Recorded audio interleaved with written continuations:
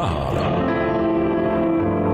Chaque jour, Charles et Carole vous présentent la leçon de l'école du sabbat.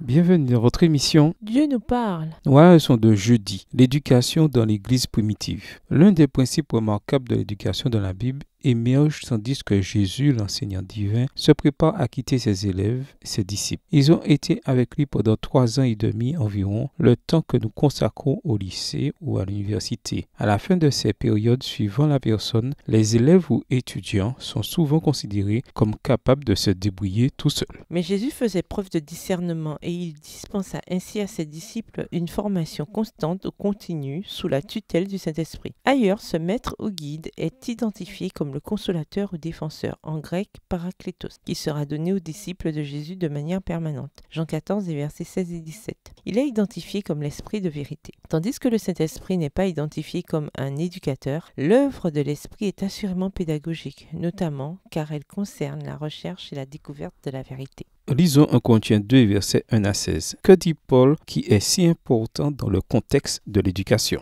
1 Corinthiens 2, les versets 1 à 16. Pour moi, frère, lorsque je suis allé chez vous, ce n'est pas avec une supériorité de langage ou de sagesse que je suis allé vous annoncer le témoignage de Dieu, car je n'ai pas eu la pensée de savoir parmi vous autre chose que Jésus-Christ et Jésus-Christ crucifié. Moi-même, j'étais auprès de vous dans un état de faiblesse, de crainte et de grand tremblement, et ma parole et ma prédication ne reposaient pas sur les discours persuasif de la sagesse, mais sur une démonstration d'esprit et de puissance, afin que votre foi fût fondée non sur la sagesse des hommes, mais sur la puissance de Dieu. Verset 6. Cependant, c'est une sagesse que nous prêchons parmi les parfaits, sagesse qui n'est pas de ce siècle, ni des chefs de ce siècle qui vont être anéantis. Nous prêchons la sagesse de Dieu mystérieuse et cachée que Dieu, avant les siècles, avait destinée pour notre gloire. Sagesse qu'aucun des chefs de ce siècle n'a connue, car s'ils l'eussent connue, ils n'auraient pas crucifié le Seigneur de gloire. Mais, comme il est écrit, ce sont des choses que l'œil n'a point vues, que l'oreille n'a point entendues, et qui ne sont point montées au cœur de l'homme, des choses que Dieu a préparées pour ceux qui l'aiment. Dieu nous les a révélées par l'Esprit, car l'Esprit sonde tout, même les profondeurs de Dieu. Lequel des hommes, en effet, connaît les choses de l'homme, si ce n'est l'esprit de l'homme qui est en lui? De même, personne ne connaît les choses de Dieu si ce n'est l'esprit de Dieu. Or, nous, nous n'avons pas reçu l'esprit du monde, mais l'esprit qui vient de Dieu, afin que nous connaissions les choses que Dieu nous a données par sa grâce. Et nous en parlons, non avec des discours qu'enseigne la sagesse humaine, mais avec ceux qu'enseigne l'esprit, employant un langage spirituel pour les choses spirituelles. Mais l'homme animal ne reçoit pas les choses de l'esprit de Dieu, car elles sont une folie pour lui.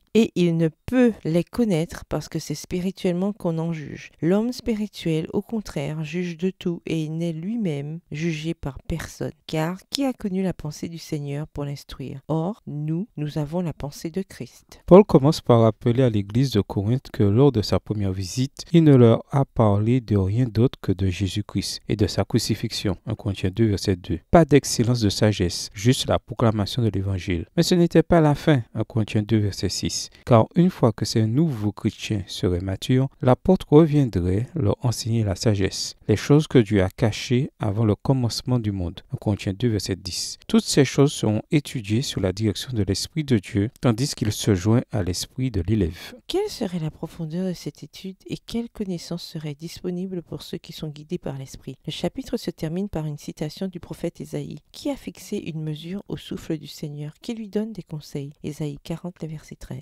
prophète qui s'adressait aux gens ordinaires de son époque disait que personne ne peut faire cela. Mais Paul corrigea cette perception en concluant Nous avons la pensée de Christ. Autrement dit, les chrétiens remplis par l'Esprit ont accès à la pensée même de Dieu et ainsi à autant de connaissances et de compréhension. 1 Corinthiens 2, les versets 10 à 13, qu'il serait nécessaire pour connaître le chemin de la justice. Au revoir. Il y a de Monsieur veut.